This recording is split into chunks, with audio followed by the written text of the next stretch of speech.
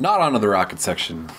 I You- was You're so mistaken. silly. I'm so not sober anymore. Uh, so for the first couple dudes, you can run up behind them and melee them, and not one of them will know. It's like grunts in Halo. Always gotta reference Halo for those PlayStation exclusive games. Yep. Except uh, these guys aren't nearly as silly as the grunts. Uh, Yeah, they don't say funny things and have high voices. So this is another sniper section. Uh, kind of tough, actually. This part. Wow, they shoot right through walls. I think that's just bad luck. Oh, For the most part, they don't. There's quite a few more uh, infantry chimera running around, and um, the reason I'm, I was saving my auger ammo before was for this Okay. because this part's quite a bit harder, and uh, yeah, there's quite a few more dudes, and there's also that dude, uh, the, Hmm. the ship, chilling out above. So those laser things are invisible dudes. Still, I don't necessarily think they're invisible, but they are the snipers. The lasers are the snipers. They're not always invisible. Later, Oh. I, I think on this level, all the snipers are invisible. Later on in the game, they're not necessarily invisible. okay. But yeah, yeah, you're right. So it looks like after the first shot, they're visible. Um, if you hit them, but don't kill them, Yeah. they become visible for a second. So you can finish them. Yeah, if you don't finish them off and hit them in the backpack, or you know, actually, like if you can get good at it, hitting them in the backpack might be a better way to do it because sometimes the backpack or the backpack explodes, and sometimes it takes out the dude that he's standing next to, which could be a really effective way in uh, wiping out a whole bunch of dudes. That was cool for some reason. what gun is this? This is the auger. Oh, it was just Yeah, weird seeing you use it like toe to toe and Oh. not like you know like Yeah. you crouch behind a wall or something. I, I felt like there I didn't have enough time to switch and play strategically, so I just uh, busted it out. So when you get too close to this fence right here, it's gonna explode. There's gonna be a whole bunch of the little electric robots that are gonna pop through and uh,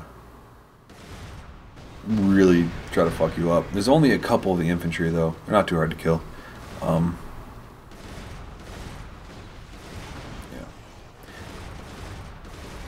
Wow, is this this is the second half? Yeah, the last part of this level is where you get the rocket launcher. Oh, I forgot about that guy. So these guys, the auger absolutely destroys.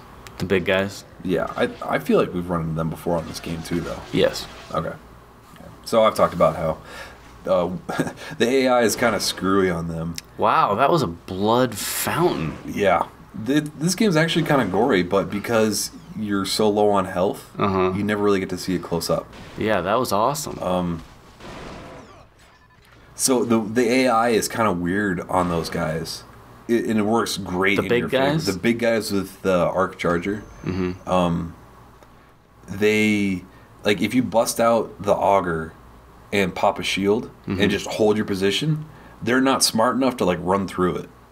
They'll Un- stay behind it. unless you take way too long to kill them because they don't need to get toe to toe with you. I think they stay at the maximum range that they need to to do damage to you with their weapon.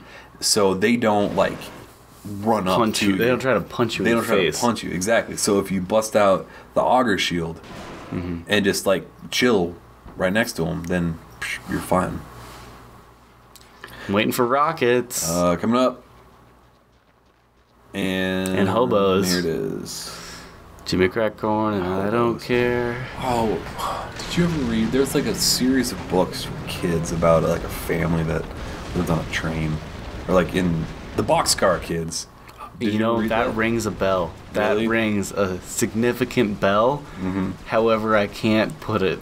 I don't remember a single thing about Like, it either. That sounds so familiar. That I definitely have heard of or read The Boxcar. Kids. Boxcar Children. Yeah, yeah. I don't remember anything about it. Sounds either. horrible now. So the uh, this rocket launcher it locks on if you block if you hold the cursor on them for a few Is there like a, an amount of time you have to be locked on before it'll yeah, follow? Yeah, just a second or two.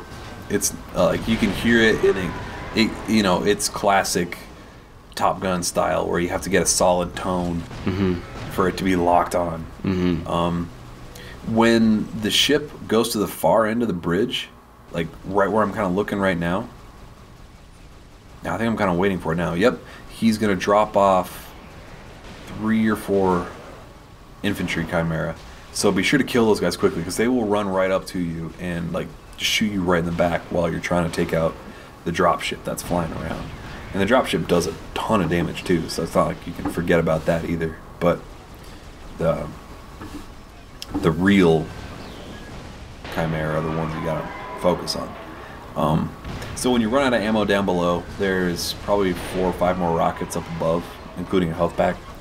So that's super helpful. Um, the secondary on this, it's not great. I've You never. can control the rocket from a No. remote camera. the secondary fire shoots off like seven mini rockets, Okay. and I'm not entirely sure how it works, but when you when you've upgraded this thing all the way, it's uh, the mini rockets auto lock on to other stuff. So it's actually it can be effective when it's completely upgraded, but for your first run, it's not super great. Um, and for this boss battle, because the dudes fly so far away, it's not